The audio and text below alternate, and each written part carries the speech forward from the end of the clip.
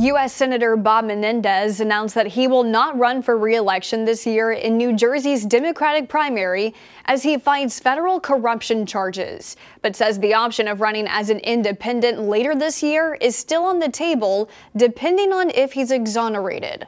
Menendez is accused of accepting bribes from foreign governments like Egypt and Qatar, and in exchange received hundreds of thousands of dollars. Menendez has pleaded not guilty, saying the accusations have left a cloud over his career. He announced his decision in a nine minute video posted to social media. I know many of you are hurt and disappointed in me with the accusations I'm facing. Believe me, I am disappointed at the false accusations as well. All I can ask of you is to withhold judgment until justice takes place.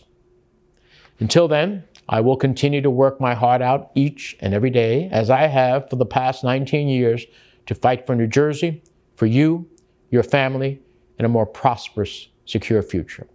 Menendez says he is hopeful he will be exonerated at a trial scheduled for May.